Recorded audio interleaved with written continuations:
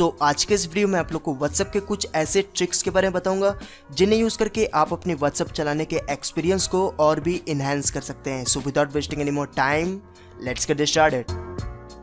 so the first trick is offline chat जब आप किसी एक पर्सन के लिए ऑनलाइन नहीं होना चाहते हैं, ताकि उसे पता ना चले कि आपके मोबाइल पे अभी आपका एक्सेस है, फिर भी आप उनके मैसेजेस का रिप्लाई नहीं दे रहे हैं। बट उसी समय आपको किसी से अर्जेंट बात करना होता है तो उनके वजह से आप ऑनलाइन भी नहीं हो पाते हैं। बट अगर आप चैट ऑफलाइन ऐप को इंस्टॉल करके सारे परमिशंस अलाउ कर देते हैं तो आप इस ऐप से बिना ऑनलाइन हुए या अपने लास्ट सीन को चेंज किए बिना फ्लुएंटली किसी भी पर्सन से बात कर सकते हैं, और किसी भी पर्सन या व्हाट्सएप कॉन्टैक्ट को ये नहीं पता चले कि आप ऑनलाइन हो. एंड सेकेंड ट्रिक जो कि किसी भी यूज़र के लिए यूज़फुल हो सकता है, जैसा कि आप लोग को मालूम है कि व्हाट्सअप पे इमेज या वीडियो सेंड करने पे उसकी क्वालिटी ख़राब या बहुत ज़्यादा ख़राब हो जाती है. बट अगर आप अपने फ़ोटो या वीडियो के एक्सटेंशन फ़ाइल को चेंज कर देते हैं, जिसके लिए आपको अपने सिर्फ़ वीडियो के एंड के एम या इमेज के एंड के जेपेक को एडिट करके टी कर देना है। उसके बाद ये फ़ोटो या वीडियो डॉक्यूमेंट एक्सटेंशन में चेंज हो जाएगा, जिसे आप व्हाट्सएप पे शेयर करते तो इसे कंप्रेस नहीं किया जाएगा। और आपके फ्रेंड के पास फुल साइज़ की फ़ाइल जाएगी,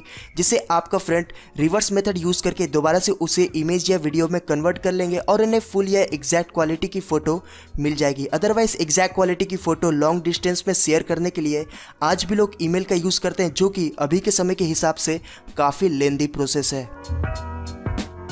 And moving to the third trick जो उन लोग के लिए काफ़ी यूजफुल हो सकता है, जो लोग कई तरह के व्हाट्सएप ग्रुप या बहुत सारे व्हाट्सएप ग्रुप में ऐड होना चाहते हैं। उसके लिए एक ऐप है व्हाट्स ग्रुप के नाम से, जिसमें आपको बहुत कैटेगरी के हज़ारों ग्रुप मिलेंगे, जिसमें आप सिर्फ़ एक क्लिक में ऐड हो सकते हैं। आप देख सकते हैं कि इस ऐप में हर एक तरह के व्हाट्सएप ग्रुप अवेलेबल है, जो आपके लिए काफ़ी यूजफुल साबित हो सकता है। और फोर्थ ट्रिक के बारे में बोलो तो ये एक तरह का प्रैंक या फन के लिए आप यूज़ कर सकते हैं। आपके व्हाट्सअप में एक ना एक बार कुछ ऐसी फ़ोटोज़ आई होंगी आपके फ्रेंड सर्कल से, जिसमें डाउनलोड होने के पहले का प्रीव्यू कुछ और होता है बट आप जब उसे डाउनलोड करने के बाद ओपन करते हैं तो वो कुछ और निकल जाता है। तो ऐसी इमेज क्रिएट करने के लिए आपको एक ऐप की ज़रूरत पड़ेगी जिसका नाम है इमेज प्रीव्यू चेंजर जिसका इंटरफेस काफ़ी बेसिक सा है, जहाँ आपको अपने ओरिजिनल फ़ोटो को एक साइड में चूज़ करना है और दूसरे साइड में उस इमेज को चूज़ करना है, जिसकी प्रीव्यू डाउनलोड होने के पहले शो होगी। एंड देन सिंपली सेलेक्ट करने के बाद आप किसी को भी इस इमेज को शेयर करके प्रैंक कर सकते हैं। और जो लास्ट ट्रिक है, वो आपके बिज़ी स्केजुअल में आपको काफ़ी हेल्प कर सकती है in terms of maintaining WhatsApp messages जब आप कहीं बिज़ी रहते हैं या आपके फ़ोन पे आपका एक्सेस नहीं रहता है लाइक इन क्लास स्कूल या ऑफ़िस और उस समय आपका कोई फ्रेंड या कोई भी आपका रिप्लाई का वेट कर रहा होता है या लगातार मैसेज करता रहता है और आप बिज़ी या क्लास या मीटिंग में होने की वजह से उन्हें रिप्लाई नहीं कर पाते हैं। बट अगर आप व्हाट्स रिप्लाई को इंस्टॉल करके सारे परमिशन अलाउ करके